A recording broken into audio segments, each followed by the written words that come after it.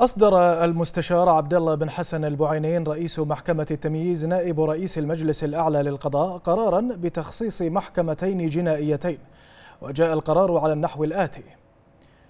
المحكمة الكبرى الجنائية الأولى للنظر في جرائم الإتجار بالأشخاص والمحكمة الكبرى الجنائية الرابعة للنظر في الجرائم المالية وغسل الأموال.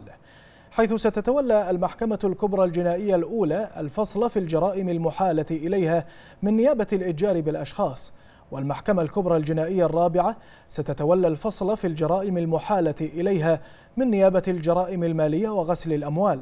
وهي الجرائم المالية الواردة في قانون العقوبات وجرائم غسل الأموال المنصوص عليها في المرسوم بقانون رقم 4 لسنة 2001 بشأن حظر ومكافحة غسل الأموال وتمويل الإرهاب وتعديلاته والقرارات الصادرة بناء عليه وكذلك الجرائم المتعلقة بالذمة المالية.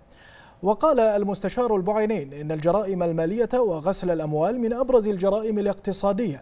التي تشكل خطرا على المشاريع التنموية في البلاد مؤكدا أن تخصيص محكمة للنظر في الجرائم المالية وغسل الأموال يأتي تأكيدا على دور القضاء في صون النظام المالي للدولة من أي شبهة خاصة في ظل تزايد الجرائم المالية على المستوى العالمي